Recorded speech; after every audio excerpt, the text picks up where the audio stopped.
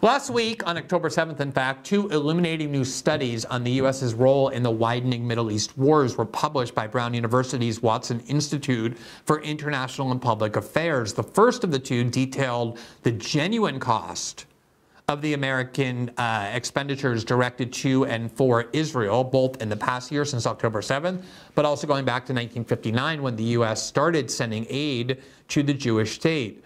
The second paper explores the real death toll in Gaza since October 7th, including the widespread indirect deaths of Palestinians, ranging from severe malnourishment uh, to sweeping plagues to people undiscovered under the rubble. These vivid and alarming accounts capture some of the less visible aspects of the current conflict, yet some of the most important ones. And so we're happy to welcome two of the study's authors. The first is William Hartung, who is a senior research fellow at the Quincy Institute for Responsible Statecraft and is an expert on the arms industry and U.S. military spending, focusing on the defense budget and security assistance.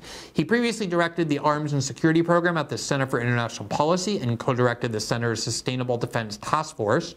He's the author of Prophets of War, Lockheed Martin and the Making of the Military-Industrial Complex, and he joins us to discuss the report he just co-authored for Brown's Watson Institute titled United States Spending on Israel's Military Operations and Related U.S. Operations in the Region. Sophia Stamatopoulos Robbins is an award-winning anthropologist and filmmaker with extensive fieldwork in Israel and Palestine, as well as Greece. She is the author of The Waste Siege, The Life of Infrastructure in Palestine, a book that has won uh, multiple major awards for its in-depth analysis of waste management in conflict zones. She holds a PhD from Columbia. Her recent report that she published with the Browns Watson Institute is titled The Human Toll, Indirect Deaths from the War in Gaza and in the West Bank, and we are happy to speak with her as well. Uh, good evening to both of you. Thank you so much for coming on. Congratulations on these important studies, and I'm looking forward to talking to both, uh, to both of you about them. Yes, thanks for having us. Sure. All right. So thanks for having us. Sure. Happy to have uh, happy to have you. So let me start with you, uh, Mr. Hartung, because I do think there's a lot of confusion, and I would suggest it's deliberate confusion about just how much the United States supports Israel. I think it's obviously well known that we regard, or our government does, Israel as an important ally. We give it aid, but in the last year, I think the amount of aid would surprise a lot of people if you look at the actual data and take into account all the real costs. So can you talk a little bit about what your study was intended to analyze beyond just the obvious transfer of money directly from Washington to, to Tel Aviv? Yeah, I mean, even that part is complicated because there's so many channels, so much uh, attempt to uh, hide the details. But you know, the the various aid channels that basically put weapons in the hands of the IDF were about 17.9 billion. But then our colleague Linda Bilmes looked at the surge of aircraft carriers, the missile war with the Houthis, increased combat pay, which added another 4 billion plus to get uh, to 22.76 billion. We're pretty sure that's a conservative estimate because they've been so um, non-transparent about what they're sending, when they're sending it. They actually, uh, Washington Post found, put a bunch of the deals under the threshold for reporting to Congress. So Congress didn't know about a lot of these things when they were happening. Whereas Ukraine, every time they send something, there's a long list of what it is, what it costs, what weapon it was. What, you know, they tell you when it's delivered. So it's a very different approach uh, taken. Uh, but you know, the State Department spokesperson uh, tried to argue we were lumping together apples and oranges, which is only the case if you think the Houthis just decided to attack shipping, when in fact it was a response to the uh, war in Gaza. And we didn't really get to the escalating costs of the war in Lebanon. So this is the beginning. I mean, even just the, the sending of this missile battery with 100 personnel to Israel is the beginning of, of further escalation of U.S. involvement. Yeah, and, and that, that's what I just want to follow up on that for a minute because your study looked at the last year, but also a lot of time before that. But in terms of the last year, it was really focused on the aid we gave specifically in the name of the Israeli war in Gaza. But it seems likely, actually not even likely, it's, it's already happening, that the war is already expanding and therefore U.S. involvement in the war is expanding. Hopefully it stays confined, but there's a good chance that it won't, that escalation will continue. What kind of cost do you think the United States might be looking at if the war continues to escalate in a sort of uncontrolled way, rapid escalation, and the U.S. fulfills its promise to deploy as many uh, assets as possible to defend Israel? Well, uh, one thing that came to my mind was the war in Iraq, where the Bush administration, one official said it would cost uh, $50 billion and it cost a trillion. Uh, so you can't predict how wars are going to go. And the Biden administration's approach seems to be Israel attacks, there's a counterattack, they go in heavier behind Israel. So they're sort of like Netanyahu set the pace. Uh, and once you've got troops in Israel, uh, once you're fighting in Lebanon, once he's pushing the United States to perhaps bomb Iran, uh, there's no limit to how costly this might be. And it's really kind of a national emergency to try to pull back the U.S. Uh, enabling of this war.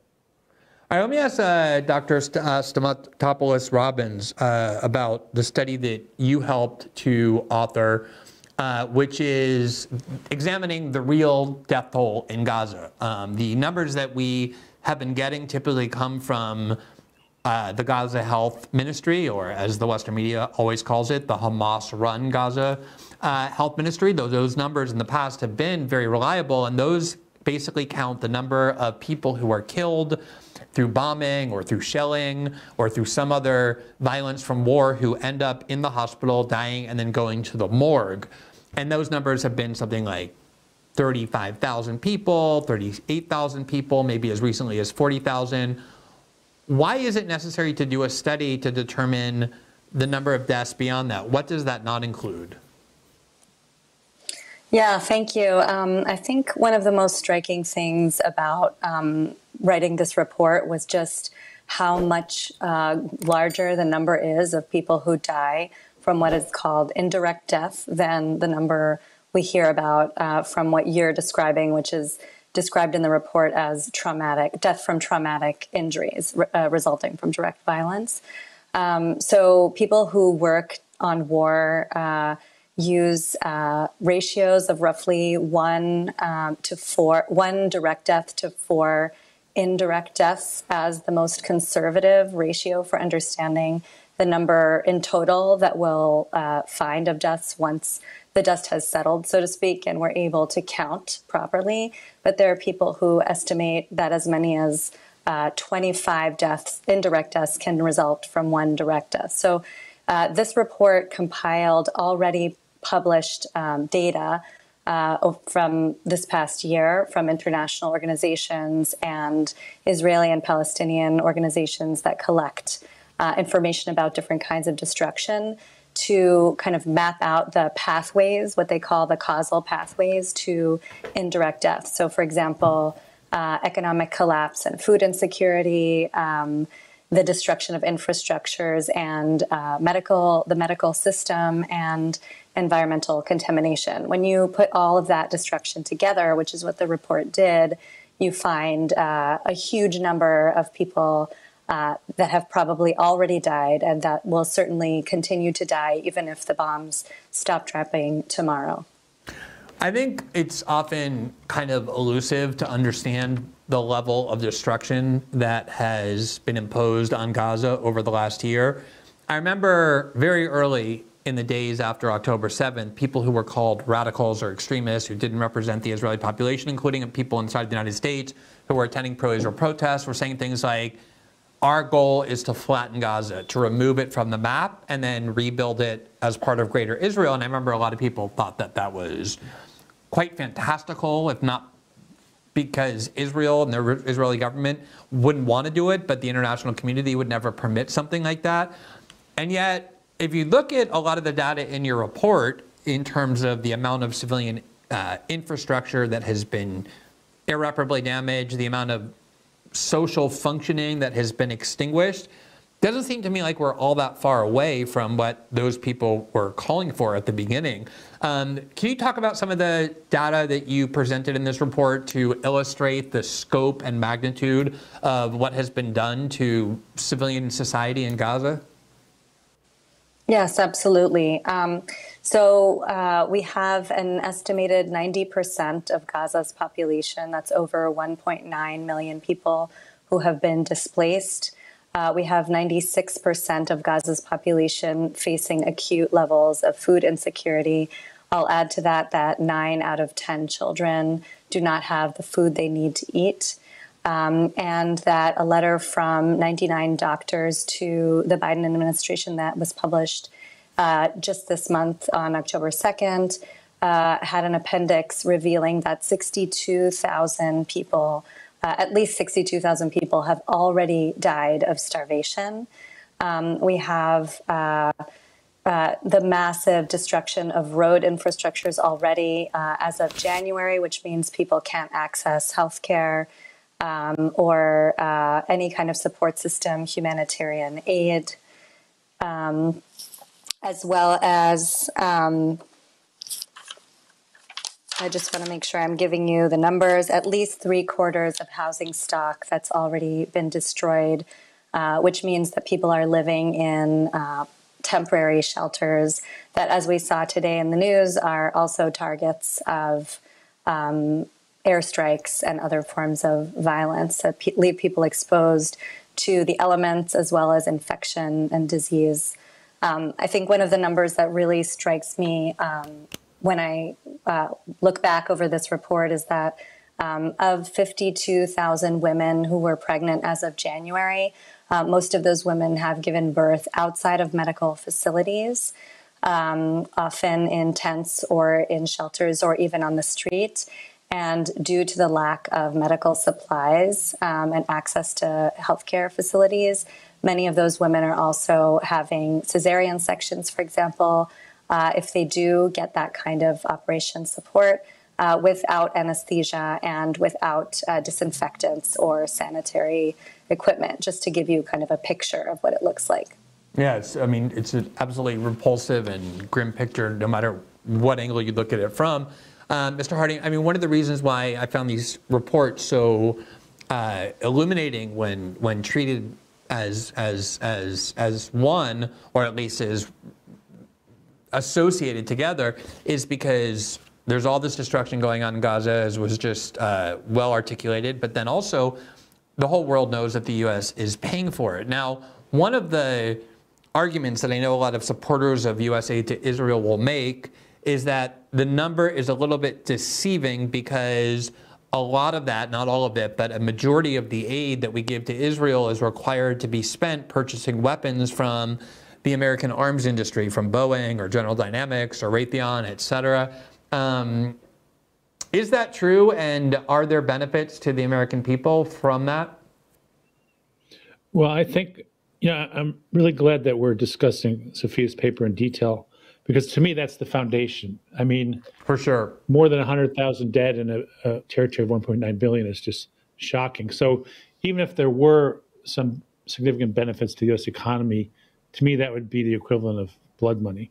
Uh, but in fact, uh, it's much more limited than the uh, administration would have you believe. Certainly, the companies do fine. About a quarter of the aid Israel can use to build up its own weapons industry. The rest of it just kind of passes through Israel, goes back to Lockheed Martin, Boeing, General Dynamics, Palantir, which helps make the uh, surveillance things to pick targets, and had the gall to actually hold their board meeting in Israel after the war started as an explicit political endorsement of the war.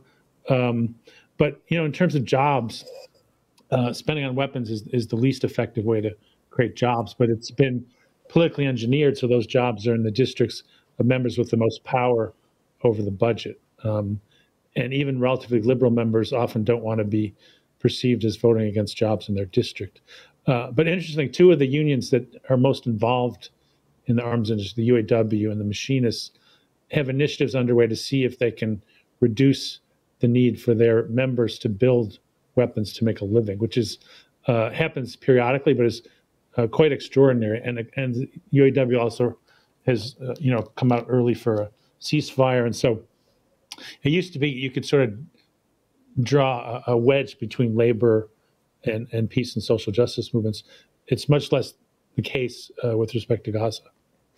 Your, the, the paper that you looked at wasn't just about the money we've given to Israel to uh, wreak the kind of destruction Sophia was describing, and that her paper so uh, disturbingly uh, documents, but also the kind of history of U.S. aid to Israel. This didn't just come out of nowhere. The U.S. has been given massive amounts of aid to Israel uh, over several decades now. Can you talk about the, what the trends are in terms of how much we have been giving them over the last, say, four or five decades, and how much we're now giving them?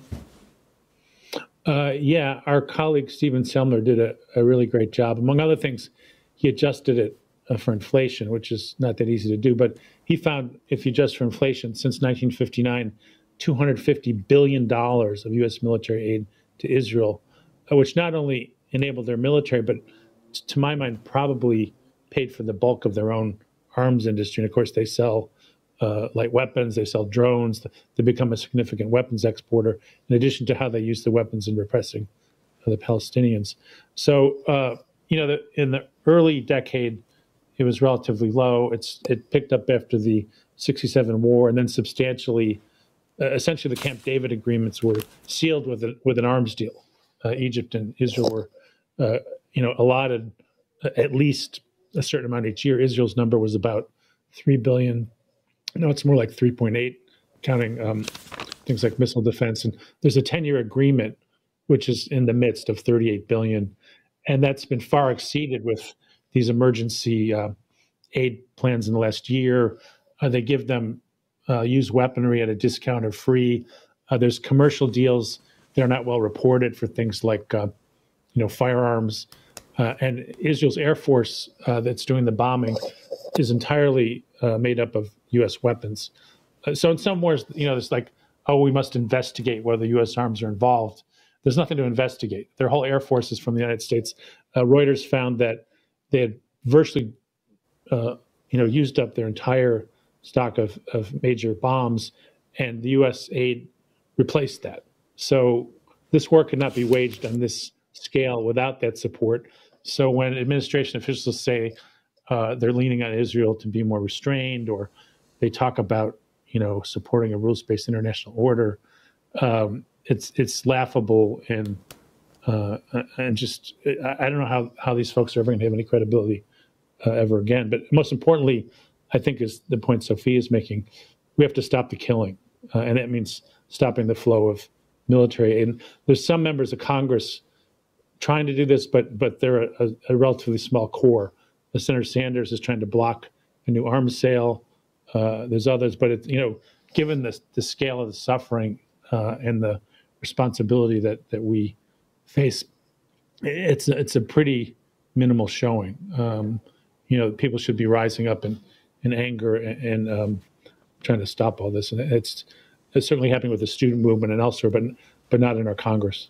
Yeah, it's a tiny, tiny group, and I question a little bit how much of that is a genuine attempt to actually stop those sales versus kind of a campaign tactic to signal to people who care most about this issue that there's space for them in the Democratic Party, even as the current administration funds all of this unconditionally. Um, Sophie, let me ask you uh, one of the things that I have found just beyond words over the last year is that it's not just that there's massive destruction of the civilian infrastructure and all the people who had relied on it, who, who, whose lives and families depended on it, but the thing that is so striking is that basically all of the hospitals and the healthcare system has been deliberately targeted and destroyed by Israel. So not only is the civilian population constantly under siege with weapons and bullets and shells, but there's nowhere for them to go increasingly to even get treated. And even those hospitals that were standing, from the very beginning didn't have basic supplies. Western doctors would go there and were shocked at, as you said, the lack of anesthesia or the lack of just antibiotics or the basic, most basic things you need to administer uh, real health care. Even bandages uh, have been deliberately kept out. What has been, how would you characterize the targeting and destruction of the hospital and healthcare system in Gaza and the effect that it has had on these death numbers? Yeah, I mean, it's um, it's really beyond words at this point. I think some of the um, shocking details for me were in the weeds. Uh, like you said, kind of the lack of things like antibiotics or the inability of hospitals to um, provide nutrition when they are uh, faced with severe malnutrition patients who come in. Um, you know, things that seem extremely basic. Another shocking thing for me in the details was that um, as the uh, medical workers have been killed, we have over 880 medical workers have been killed, uh, and uh, many thousands have been displaced. You also have a lot of people whose training uh, in, in medicine has been interrupted. So you have people um, exercising uh, parts of medicine that they are not trained to be in. They are underfed, underslept. Um, so we're not even only talking about the kind of physical um, infrastructures or supplies that are lacking, but also the kind of overall system's ability to operate in any way that would be uh, near normal is completely gone. Um, I don't know if I mentioned that the uh, uh, only four of Gaza's 36 hospitals uh, were not damaged or destroyed as of a few months ago.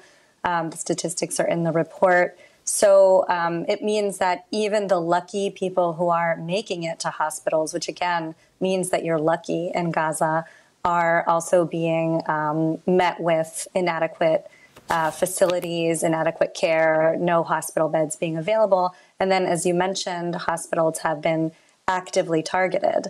Uh, so hospitals are bombed, hospitals are surrounded by Israeli soldiers and tanks uh, and fired upon. Um, so we don't have um, anything like a normal um, kind of place for people to uh, seek medical attention. And I will add, um, as we're thinking about things like infectious diseases, and you may have seen that the first polio case uh, was identified in August in Gaza, and it's uh, very possible that there are more cases, but it's been very hard to track those.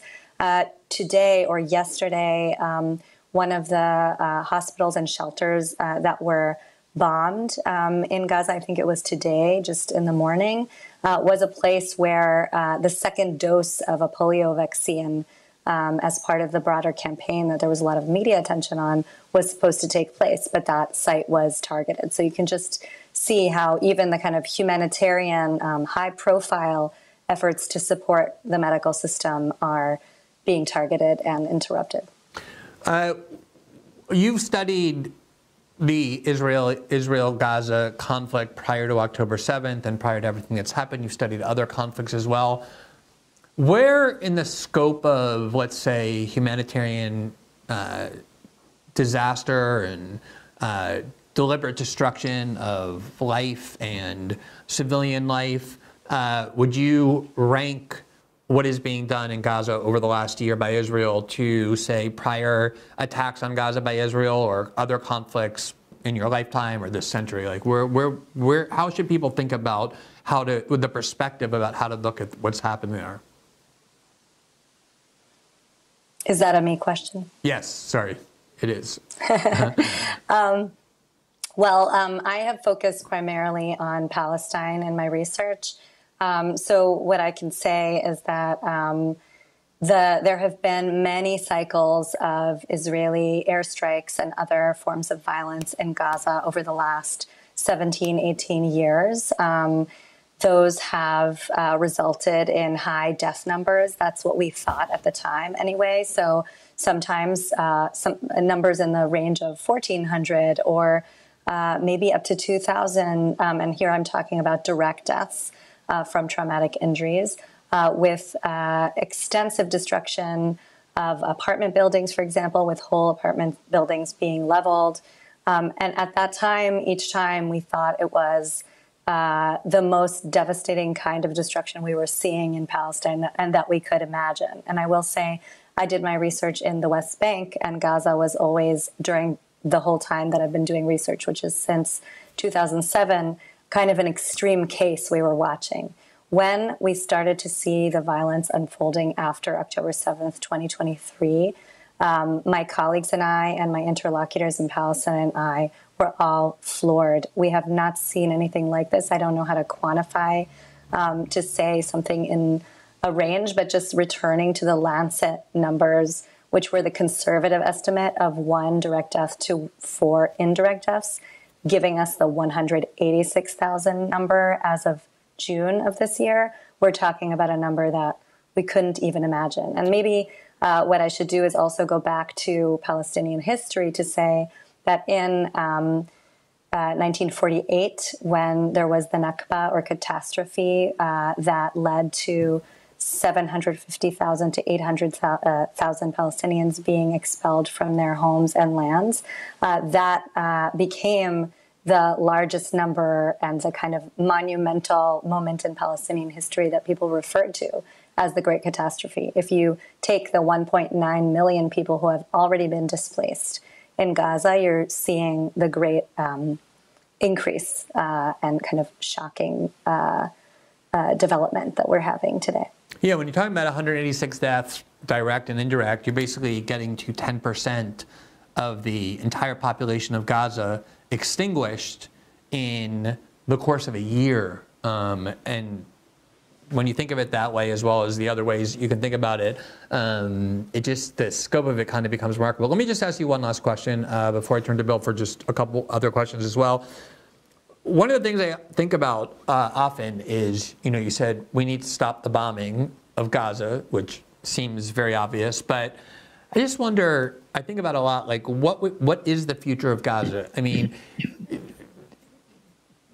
there's basically no Gaza anymore. There's there's some people in Gaza who are in refugee tents and camps, um, but as far as any kind of active society or civilian life, it basically has been destroyed. You have disease running rampant, as you say. Um, and all of that's only going to get worse, just, just constantly proliferating and spreading. And then there's just the mental health aspect, which no one ever thinks about when you're watching people blown up because it seems like a luxury. But to live under these conditions for a year, I don't understand how anybody goes back to any kind of normalcy ever. Like, do you envision how any kind of society in Gaza could be plausibly rebuilt in a way that matches what it had prior to these attacks? That's quite a question, Glenn. I'm I sorry, think, I think I about mean, it a lot, so uh, just maybe you can give me some optimism about it or or not. I mean, I think about it too. Um, you know, I'll start with a pessimistic um, statistic that we, uh, or you know, piece of information that came out of the resu- the report, which was that um, children ha- were telling Doctors Without Borders workers um, that they wanted to die uh, in the course of the last year, um, and we do not have suicide numbers or of course, uh, the numbers of people who are uh, having suicidal ideation, but uh, the desire to stop living has been uh, documented already in Gaza. So, um, what you're describing uh, as the kind of uh, psychological effects is obviously present. Um, the strangely optimistic, although um, scary, kind of other piece of information to think about is that um, you know, uh, northern Gaza has been separated off from central and southern Gaza for a while now, for several months. Um, and uh, the people of northern Gaza, and we don't know a total number, it could be 200,000, it could be 400,000 people who are living there, um, are uh, under threat uh, and under evacuation orders. Um, many of those people who have been under threat and under evacuation orders for months now have been refusing to leave. Um, and I do think that we can detect in that refusal not only an inability, which is certainly going to be the case for the disabled, the elderly, people who have um, lack resources, but also that people are obviously attached to their lives in Gaza, whether or not those buildings are standing. Um, so, you know, wherever the people in Gaza end up living, they are going to need support uh, and uh, I think uh, it's quite clear from the kind of um, messages that are being sent out from from Gaza itself that people want to rebuild and are trying in small ways to rebuild their lives as best they can. They know very well that they have rebuilt before, just not on this scale. Yeah, um, I, I, want to turn to Bill and just ask a couple last questions. And just by the way, we'll provide the links to each paper, um, which I really encourage you to take a look at and read. Um, it's actually very user friendly. It's not wrapped up in a lot of academic jargon. There's a lot of data there that um, just very stark, and, and I really encourage you to take a look at both. Um, this may be beyond the scope of what you're studying, like these kind of obvious costs, but also uh, more indirect costs to the United States from the position on Israel. But one of the things that many military officials and diplomats had pointed out over the years, it's now taboo. You don't hear much of this now, but you certainly will hear from it. And if you talk to policymakers in Washington, is the understanding that the whole world knows probably well, the United States is, is, is probably the, the population that thinks about this least, but the whole world knows that this is not an Israeli war in Gaza. This is a U.S. Israeli war in Gaza because all the weapons that fall, both in Beirut now and the West Bank and, and in Gaza, are American weapons. America pays for it. It protects Israel at the UN. And that we have a lot of interest throughout the Middle East and throughout the world that are severely undermined because of the anger and animosity caused by the world seeing what it is that we're doing with Israel and Gaza. Are you able to talk at all about the cost to the United States from that kind of failure in world standing or the damage to our other relationships and interests in that region and around the world? Well, I feel like to some degree, the United States has been fortunate. It's, it's a funny way to put it, but there's been many examples of breaking international law, of causing suffering, and to some degree, the U.S. has restored its position not in a moral way, but because of economic power. People feel like they have to deal with the U.S. It may be different this time because of the scale of the destruction. Most of the world understands what's going on here, and yet our diplomats are trying to essentially pretend that they're not uh, enabling all this. Uh, so even in the narrow sense of you know, the Israeli government says, well, you know, we're going to eradicate Hamas. Uh, well, yes, what Hamas did was horrific, but the disproportionate effects, 100 many times as people dying in Gaza has died on October 7th. And the notion that Gaza is going to disappear, even if they eliminate every last person, which they're not going to do, how much resentment do they think there's going to be among this younger generation, given the, the destruction that's been visited on them and their families? So there's that. But then on a global scale, what does it mean every time the U.S. pushes a diplomatic initiative? Uh, I, I, think it's, it's it's hard to calculate, but but I, I think it is uh, different in kind, and it's going to change the whole uh, kind of ability of the United States to have positive influence or to redeem, uh, you know, what it's uh, supported here. Uh, and I would just underscore that Sophia's findings have to be broadcast far and wide because it's it's so much worse than a lot of people might uh, have realized. Um, and of course, you know, the dying will continue even after the bombing stops because of all the trends that she's pointing out. So, uh, you know, I think we have to stop the killing, stop the dying, and, and I think, you know, the Palestinian people, their culture, their national identity, their place in the world, of course, has to be preserved. So, it, it's a it's a challenging thing. And, and you know, I will say that the, the student movement, which has taken much more uh, pushback than, than when I was a student activist, uh, deserves credit for, uh, you know, not backing down and, and, trying to elevate this issue in the public eye. But it's just, it, it's unfathomable and unconscionable what's going on. And we just have to redouble our efforts to, to stop and reverse it. Yeah, absolutely. We've had uh, student protesters, protest leaders on the show many times to talk about uh, what really is their willingness to sacrifice potential future career opportunities in the name of, of this obviously polarizing cause in the United States. Let me just ask you one last question because I do think your point about the destruction of Gaza, as illustrated by Sophia's paper, is the key point. At the same time, I think it's vital in terms of incentivizing Americans to care more that they understand how much their government, their own government, is behind this. This is not a conflict on the other side of the world that doesn't involve them. It's American resources, American military equipment, American service members, American uh, money that is all behind this war, as well as our, our, our standing in the world. Um, one of the things that I find so amazing is that if you go back to the 1980s and, and early 1990s under the Reagan and Bush administrations, there was very much this sense that look, we're financing your wars. You couldn't fight these wars without us. We're financing your military. And as a result, there are lines that we're going to draw that you can't cross when it comes to how you're undermining our interests. And the Bush, the Bush 41 administration, for example, tried very hard to condition loan guarantees on the cessation of uh, the expansion of settlements in the West Bank on the grounds that we need a Palestinian Israeli peace agreement for our own interests. There seems now to be almost no sense at all about any kind of imposition of, of limitations on Israel, even when they seemingly deliberately humiliate the U.S. government, as they did, for example, when Joe Biden said, My red line is you can't invade Rafah. And Netanyahu said, I don't care about your red line. We're absolutely going to do what we think we need to. And then he went and did exactly what the red line that Biden proclaimed said you couldn't do, and there were zero consequences. What and, and maybe this is also beyond the, the ken of your expertise, or but you're looking at this dynamic. Why is it that there's been, even as compared to the Reagan and Bush years, this obvious erosion in the willingness of the United States to stand up to Israel in any way, even when it comes to our own interests, when it's in conflict with theirs? Well, I mean, it is extraordinary. They're not using the only leverage they have, and then they're pretending they're helpless.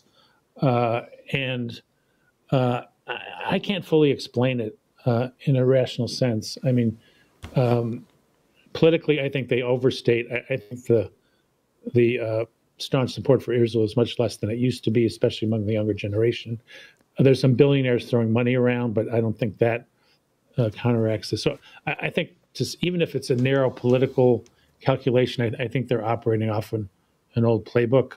So it's almost like just a ideological hangover that's detached from uh, reality. I, I, really can't, I can't fathom it. I, I really can't. I, maybe somebody else has a better uh, way of understanding that, but um, nobody's benefiting from this war, and of course, Palestinians are, are benefiting least. But I feel like um, you know it, it's the hundredth centennial of the birth of James Baldwin, and one of the things he pointed out about structural racism is it, it, it yes, it, the primary uh, victims are, are the people are being repressed, but it also deforms and dehumanizes the oppressor. And so, in that sense, uh, it's there's no there's no way to justify this. There's no benefits to be had, um, and I think anybody who thinks otherwise is is out of touch with reality.